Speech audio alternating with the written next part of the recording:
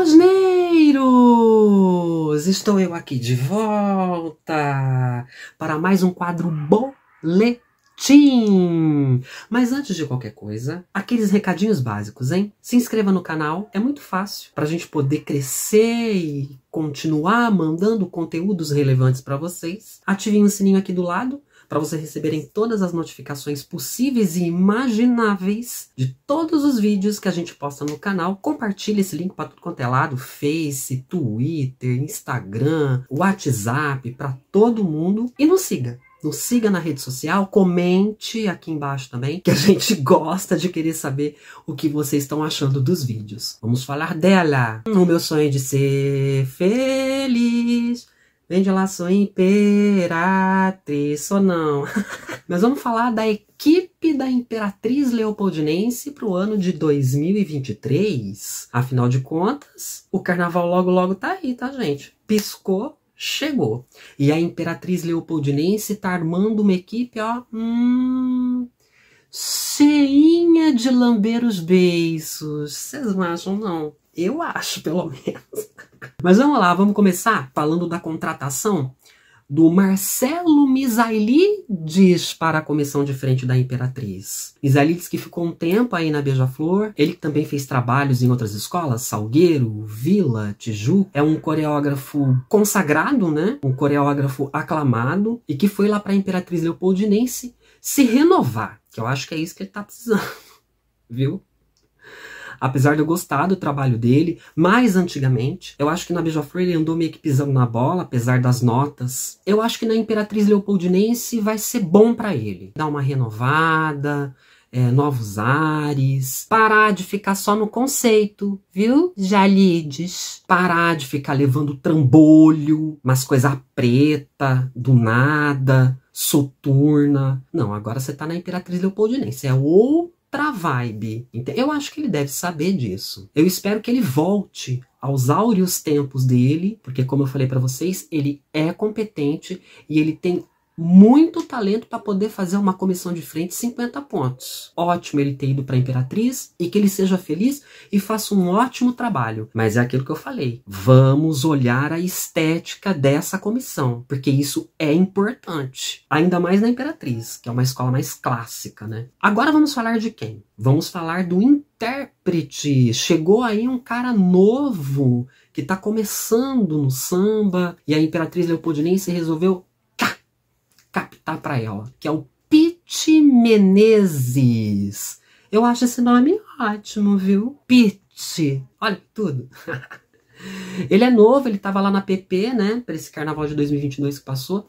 Foi muito bem, é, muito elogiado. E a Imperatriz Leopoldinense foi lá e não. Ele pode fazer uma bela carreira na escola, viu? Pode fazer, porque ele é competente, ele canta bem, eu acho ele animado, eu acho que ele puxou bem o samba da PP, que era muito bom, inclusive, diga-se de passagem. E eu acho que ele pode fazer um casamento, é, um entrosamento muito bom com a Imperatriz Leopoldinense. Depende também do samba enredo que a escola vai escolher, né? Isso daí já é um papo para uma outra hora. Agora vamos falar de quem?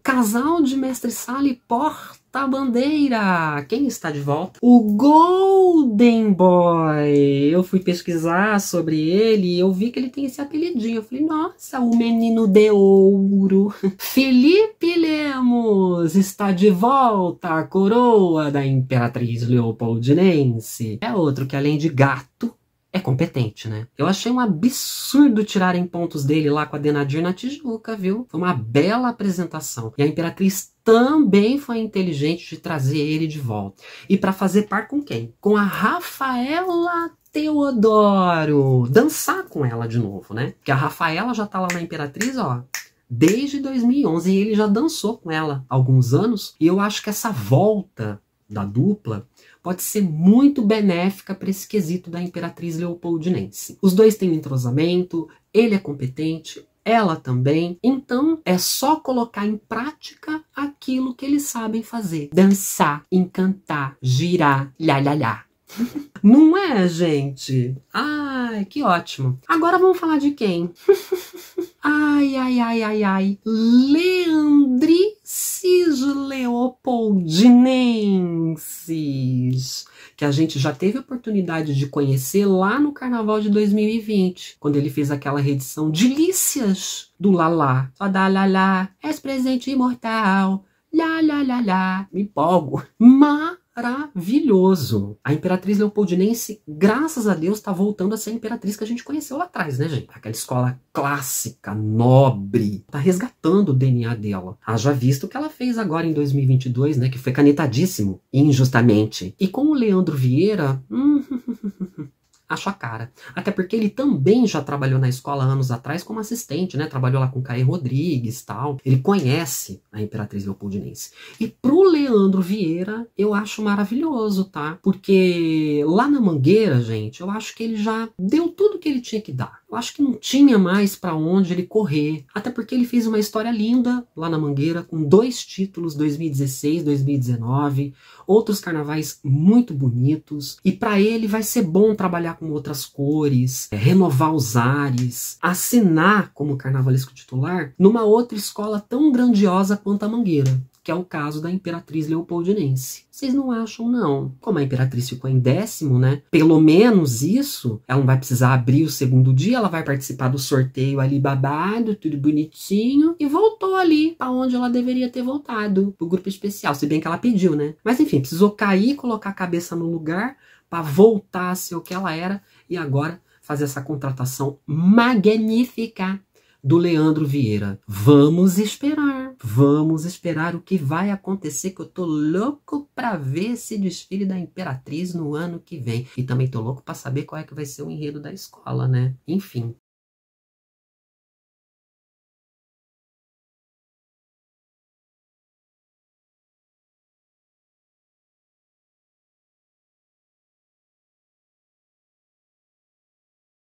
Essa é a equipe da Imperatriz Leopoldinense para o Carnaval de 2023. O que, que, vocês acharam? Comentem aqui embaixo. Como eu disse, a gente gosta de saber. Tá certo, gente? Então eu vou ficando por aqui. Mais uma vez, quero agradecer ao carinho de vocês, aos comentários, a minha recepção no canal da Osner, a minha recepção de tudo. Vocês são muito carinhosos, vocês são ótimos e eu adoro me comunicar com vocês. É isso, gente. Eu volto para um outro boletim. Esse daí eu vou me preparar assim como se fosse uma fênix. Entenderam? Tô indo nessa, gente. Um beijo. Fui. Até a próxima.